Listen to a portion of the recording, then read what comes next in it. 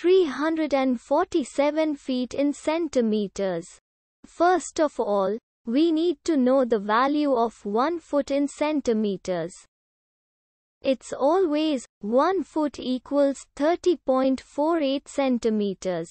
Now we have to multiply 30.48 by 347.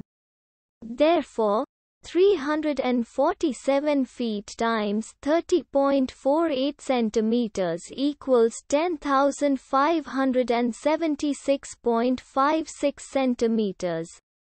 So, in other words, 347 feet equals 10,576.56 centimeters.